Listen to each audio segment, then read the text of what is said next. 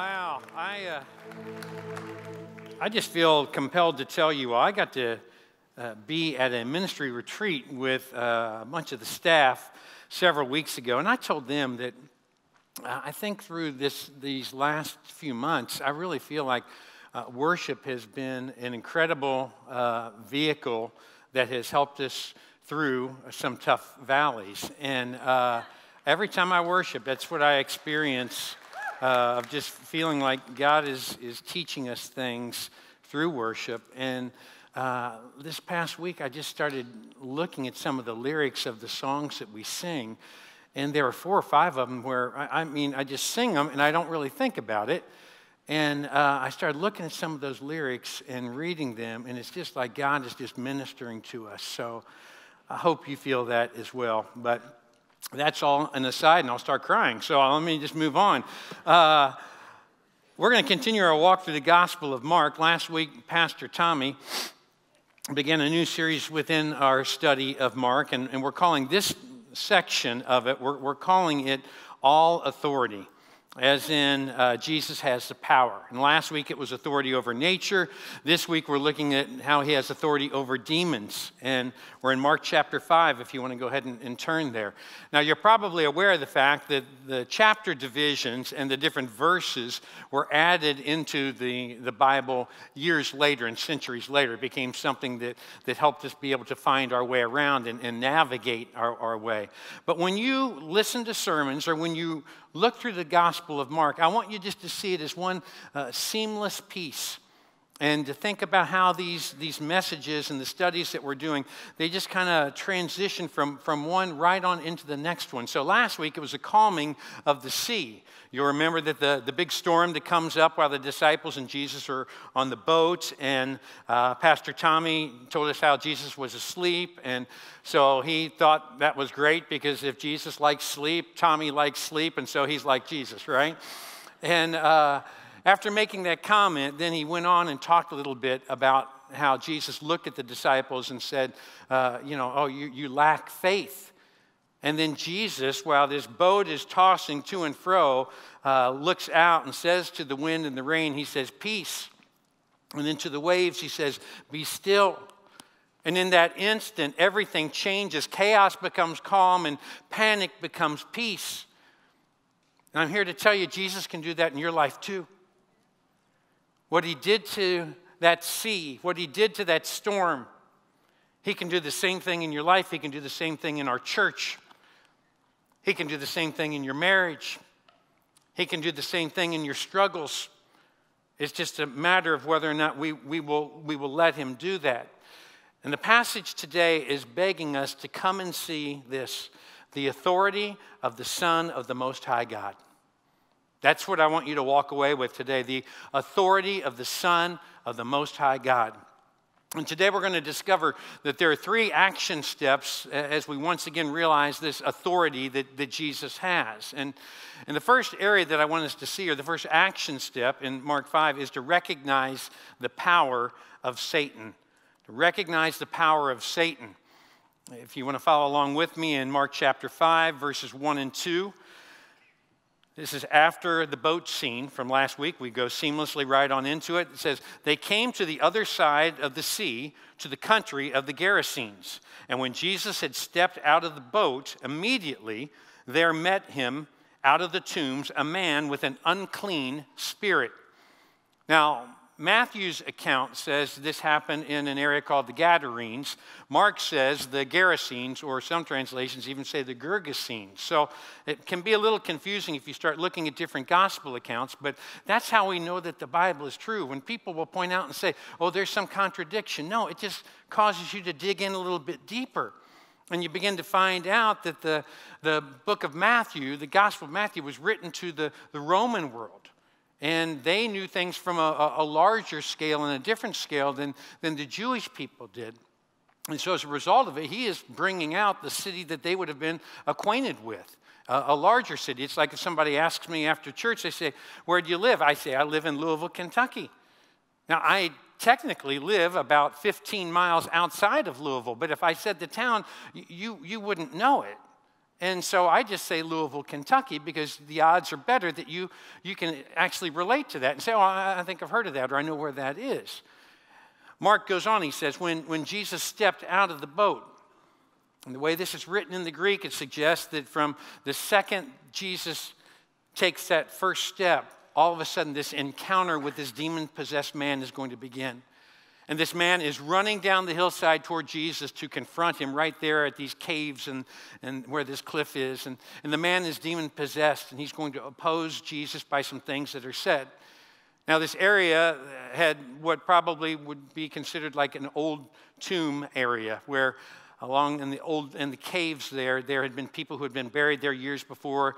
The cemetery was was not used now. It had kind of been ramshackled. Back then people thought that cemeteries were the abode of, of demons. And so maybe that's why this outcast this demoniac camped out in that setting. And caves like that were inhabited by by those who were poor or those who were deranged. Uh, think of a, a homeless camp in a major city where they just kind of have, have, set up a place there because they don't have any other place. And it's in a remote spot, and so it's kind of off to the side. And this man has menaced this entire community. The people of the town would have thought that this, this guy was crazy. Everybody would have known about him, everybody would have referred to him. He probably had a nickname that, that he went by. We had someone like that when I was growing up as a kid, and uh, we had a nickname for her, and we, we were terrified of her and she couldn't help herself. She didn't have anything, and, and she had some challenges, and she would just keep repeating the same thing anytime you had a conversation with her. And everybody knew her. If you, you saw her and you were young, you, you tried to stay clear because you were so nervous around her. Now, add to the fact with this guy that he is violent, and all of a sudden we have a very tense situation. I learned this week that the Talmud gives four characteristics of, of insanity back then, of someone who they would consider to be insane. One, they walked around aimlessly at night. Two, they spent the night uh, in graves. Three, they would tear their own clothing. And four, they would destroy what had been given to them. And you're going to see that that fits the description of this demon possessed man. Look back in your Bible, look at verse 3 of Mark 5. He lived among the tombs, and no one could bind him anymore, not even with a chain. For he had often been bound with shackles and chains, but he wrenched the chains apart and he broke the shackles in pieces.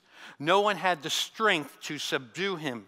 Night and day among the tombs and on the mountains, he was always crying out and cutting himself with stones.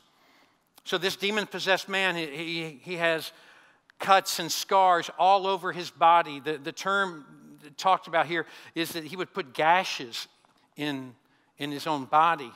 Uh, we say now that a person is cut up. Back then they would say they were cut down. And if they used that term being cut down, then it was, it was actually meaning that they would, they would deface their, their body.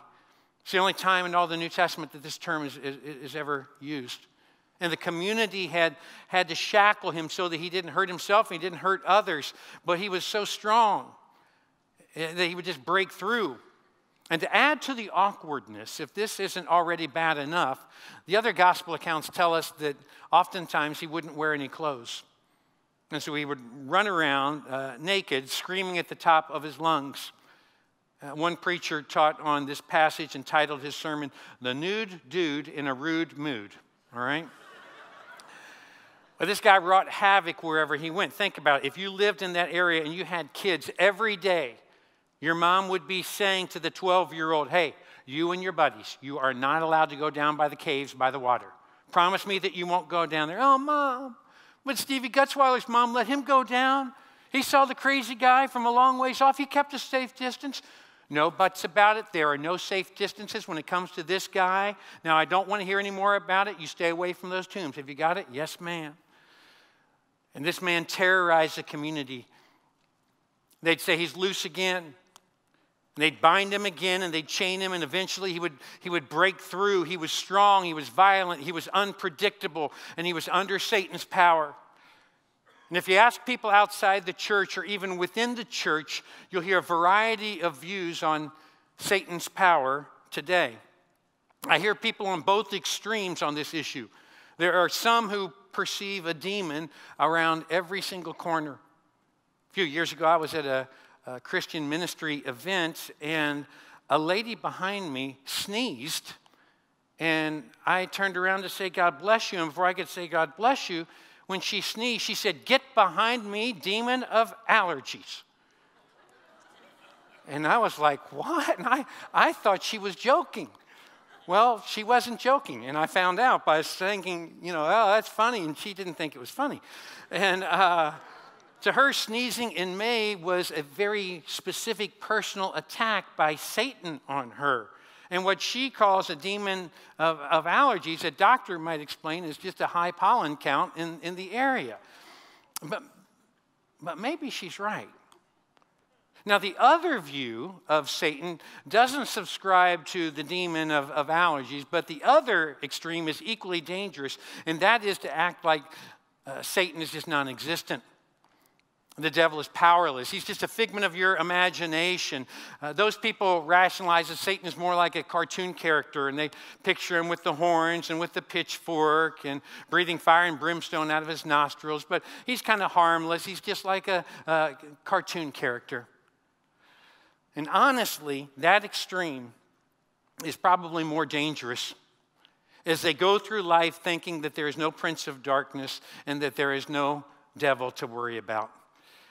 I heard about a pastor who preached on the power of Satan and his tactics. And afterwards, as people were kind of filing past and, and, and shaking his hand as they left, uh, a rather worldly church attendee came up to the pastor and said, You know what? He said, I heard what you talked about, but he said, I, I got to tell you, preacher, he said, the devil ne- never seems to bother me.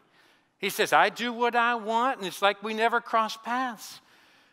And the perceptive old pastor calmly observed two people traveling in the same direction seldom bump into each other.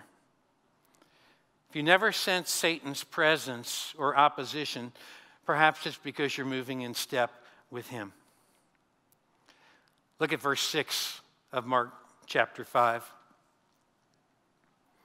And when he saw Jesus from afar, he ran and he fell down before him. And crying out with a loud voice, he said, What have you to do with me, Jesus, Son of the Most High God?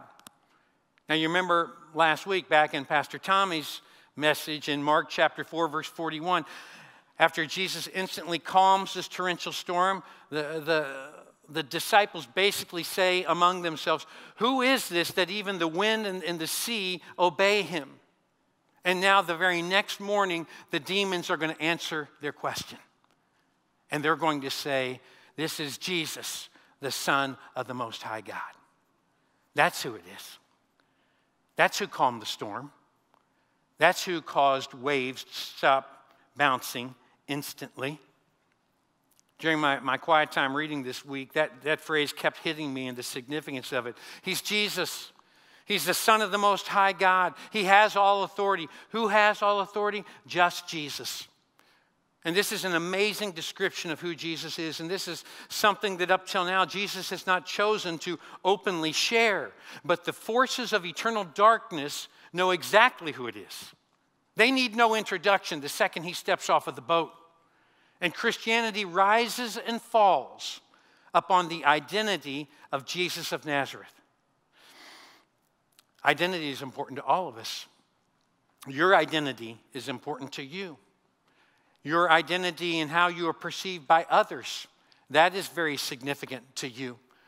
A friend of mine uh, told about recently getting stuck in the Fort Myers airport they had bad weather. There were flights that were being canceled. Uh, you can imagine the passengers were frustrated. They were angry.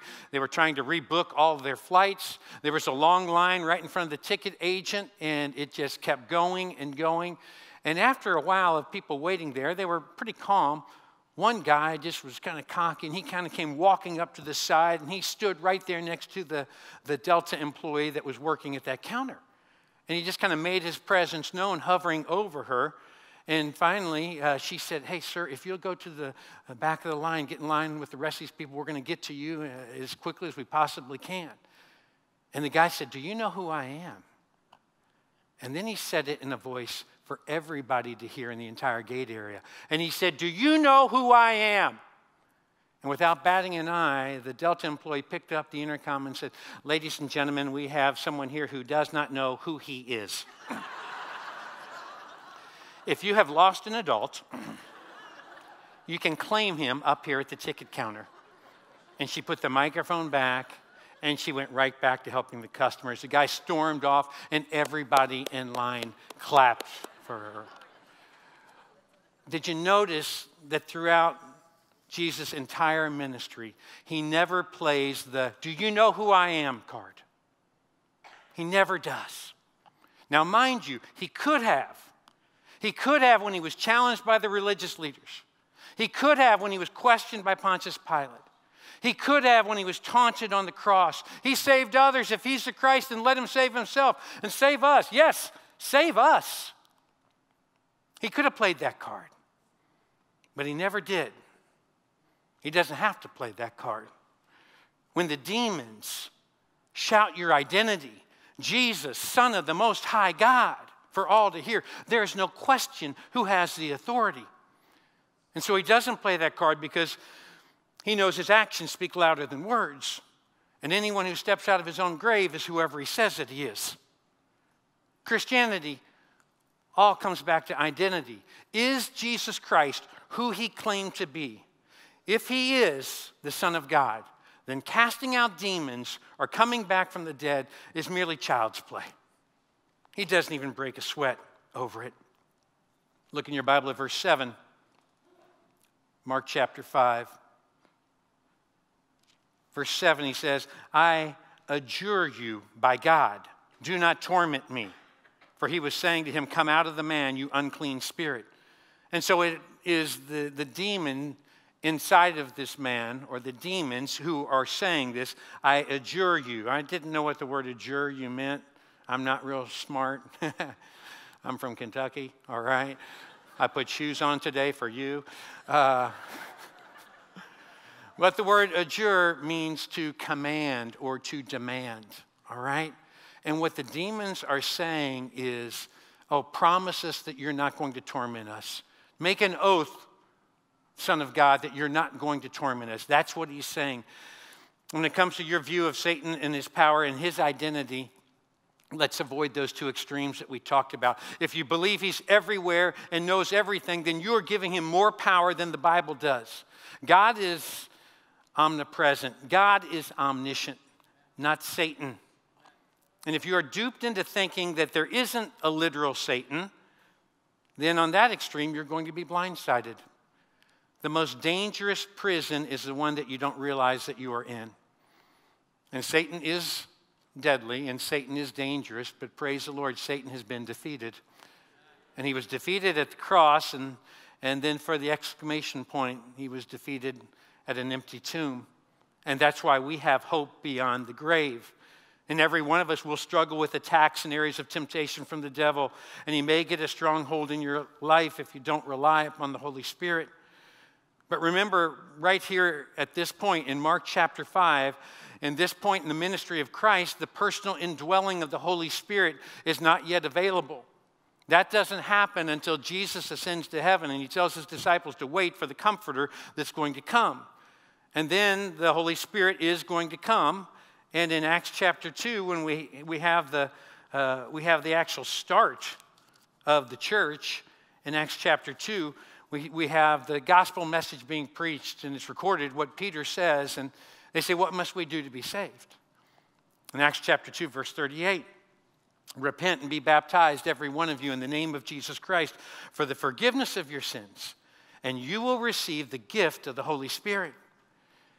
And three verses later, it says that those who received his word were baptized, and there were 3,000 that were added that day.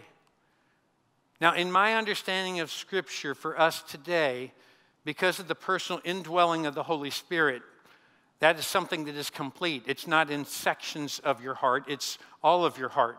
So, in my understanding, this is, this is what I would say while at times Christians may feel oppressed by Satan, they don't need to worry about being possessed by Satan. And that's good news. Now, I'm not minimizing spiritual warfare. If you have accepted Christ and turned your life over to Him, then, then Satan can't come in where he is not invited and welcomed and set up shop. Yes, we will struggle with temptation. Yes, we will have areas that we, we have to turn over to the Lord and that we, we always struggle with. But the Holy Spirit is living inside of you, and He can't get in the house unless you open the door and, and, and, and invite. Uh, Satan can't get in the house unless you invite him in. And I personally don't believe that a person can be demon possessed without making that invitation and inviting Satan into your life. And so, if you are a believer in Jesus Christ, you, you don't need to worry about as you read this story in Mark 5 of being demon possessed. I love 1 John chapter 4, verse 4. It is a verse that is written to believers. This is what it says You, dear children, or, or little children, you are from God and have overcome them, for he who is in you is greater than he who is in the world. Okay, what, what does that mean?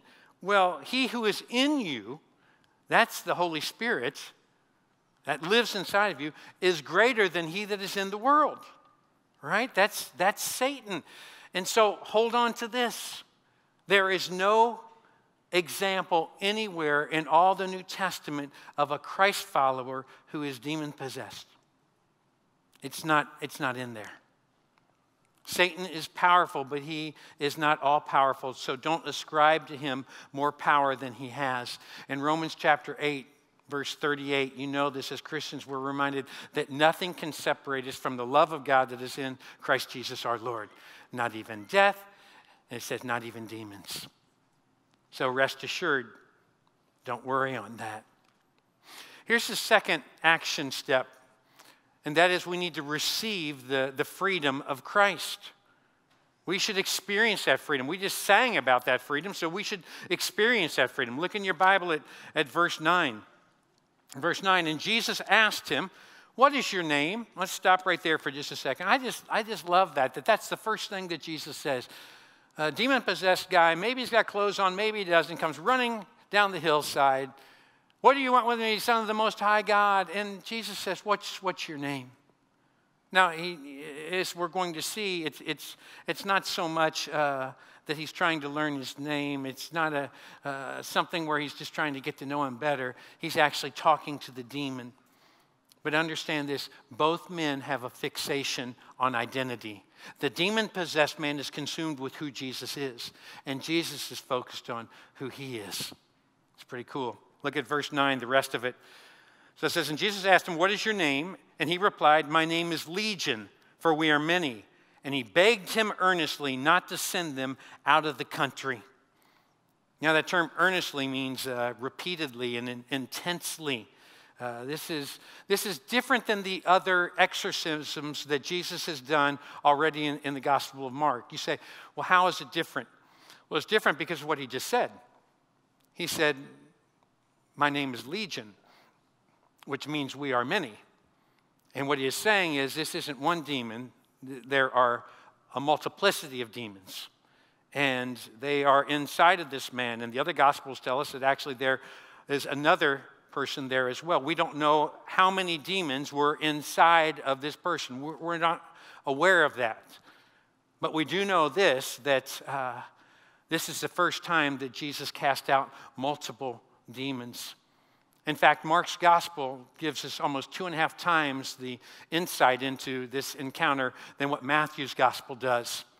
This is a demonstrative display of divinity and deity. And Jesus is saying, in a showdown of good versus evil, of, of God versus Satan, there is no comparison. And he, he always will will win the prize. And it's not even a contest. Look back in your Bible at, at verse 11. Now, a great herd of pigs was feeding there on the hillside.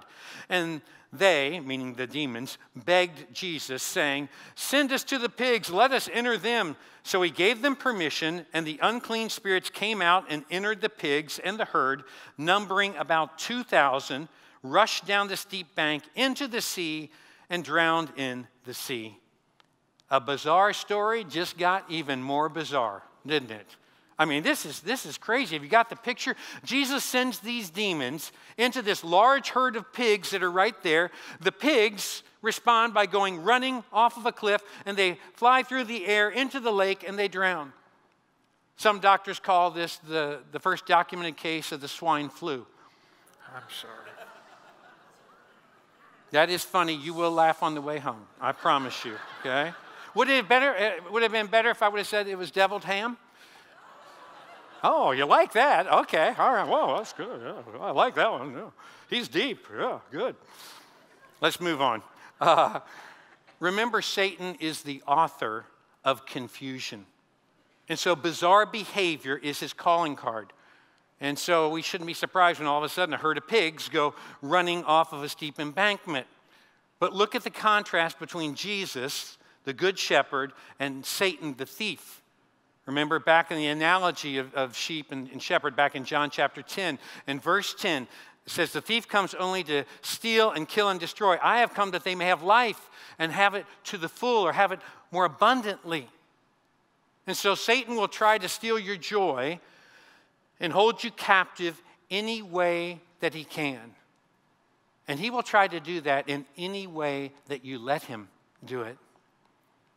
If you're single, he will get you to feel like you're in a prison of loneliness. If you're married, he will try to get you to feel like you're in a prison of discontent. Maybe an employee in the workplace feels like they're locked in a pattern of, of greed. Or a teenager who is locked in a pattern or a prison of deceit with their parents. Regardless of the situation, there is one who can give you freedom. For the Lord our God Almighty reigns. He reigns over anything that you experience, over anything that you encounter. And you may be surprised at how the townspeople are going to, to react. Everyone who hears about this spectacular display of God's power of good over evil, you know, is going to have the same response in, in Mark chapter 5, and it's going to surprise you. Look at verse 14. The herdsman fled and told it in the city and in the country, and people came to see what it was that had happened. And they came to Jesus and saw the demon possessed man, the one who had the legion, that's the many demons, sitting there, clothed. Interesting that Mark brings that out, that now he's clothed and in his right mind, and they were afraid. And those who had seen it described to them what had happened to the demon possessed man and to the pigs. So the response of everybody when they come out is fear. They just don't know how to process what has taken place on this unusual morning. And some of you can relate to that because when you had an encounter with Jesus Christ, your relatives, your closest friends, they didn't know how to process it. And it made no sense to them. And they were a bit weirded out. And so, out of fear, they distanced themselves from you. And the townspeople now are saying, hey, you know, we, we enjoyed having you, Jesus. Uh, thanks for your visit. You, you, can, you can leave now. You say, why would they do that? Well, a large herd of pigs back then would be around 100 to 150. Mark goes to the trouble of telling us there were 2,000 of them. He wants to make certain that we know that this wasn't just some accidental death, so a liberal scholar could explain later and say, well, yeah, well, there was something that happened. That's how those, those pigs died. This was 2,000 pigs. This was probably the livelihood of not just one family or two families, but a lot of people in town. They just saw their 401k go soaring over a cliff and drown in water.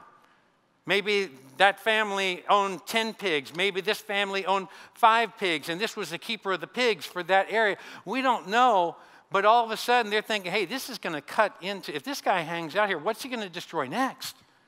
What could happen? And so they're like, hey, thanks for the visit. Uh, come again, maybe. See you. Let me help you get in the boat and, and send him on his way. Does the disconnect stand out to you? Here is this violent man who has terrorized the region, who, for who knows how long, has been doing this, and instantly he is freed from his spiritual and physical bondage. This is a miracle. The pig farmer is more concerned with how Jesus' presence could impact their region instead of acknowledging this spiritual transformation. That's misplaced priorities. And yet we do it all the time. And we get focused on things from our own perspective We say, oh, how will this look to others? And how will it be interpreted by others? And we fixate on everything from our own perspective. And Jesus is saying, hey, I'm establishing and exerting and showing that I have authority over the demonic world. This is a good thing. What are some of the things that you've gone through? God was just trying to show you just to trust in Him. What are some of the challenges that we go through as a church? What if Jesus is just deepening the members and calling each of us to focus on Him rather than on who stands in this pulpit? What if He's trying to say, you know what? Uh, all you need is me, just Jesus. Nothing more, nothing less.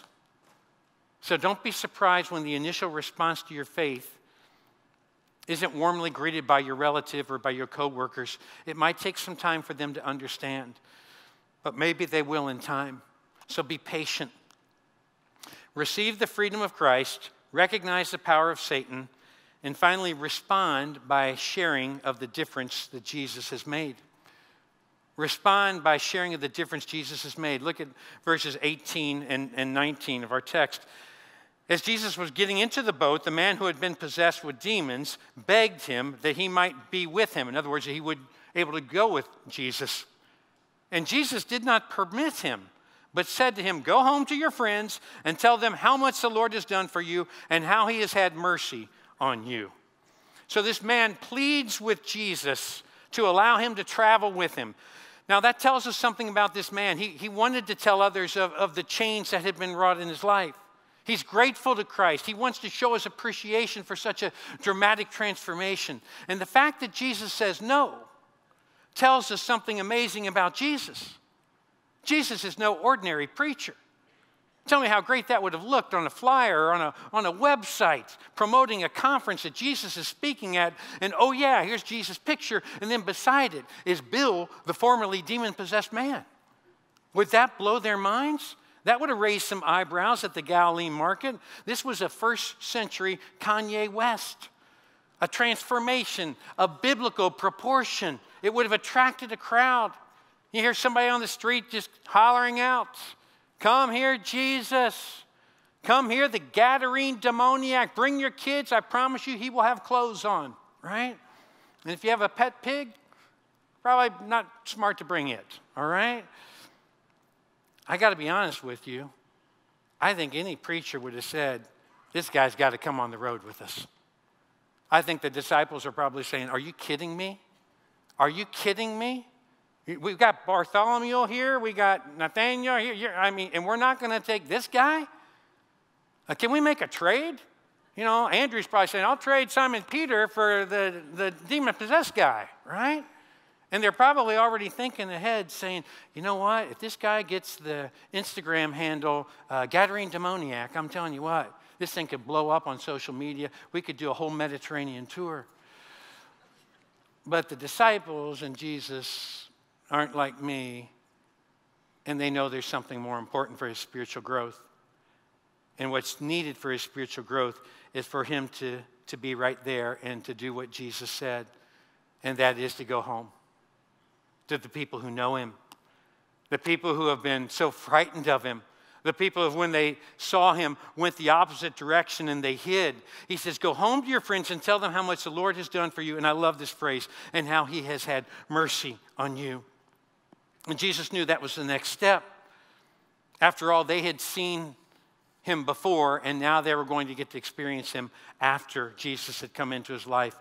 And Jesus celebrates his miracle, but he's not going to make a novelty out of this man. He wants the region to feel peace rather than panic and calm rather than chaos. He wants them to know that Jesus can make that type of difference.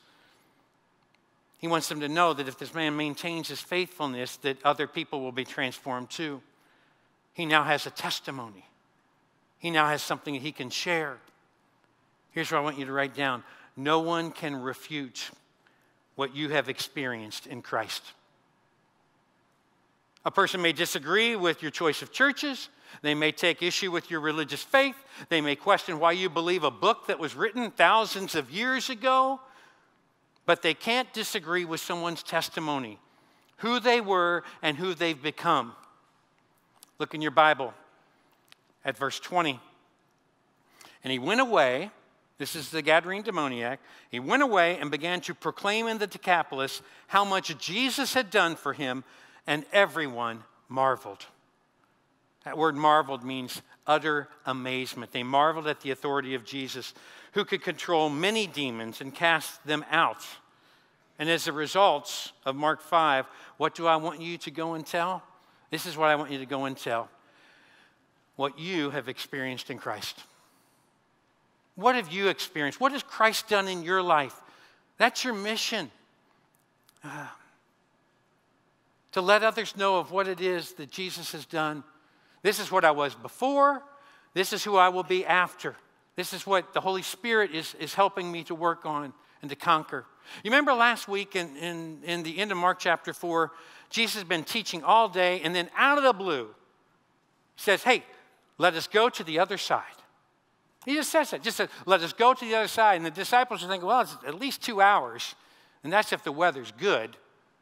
Uh, I don't know why he wants to go to the other side, but we're going to go to the other side, right? Why did Jesus want to go to the other side? Now we know why.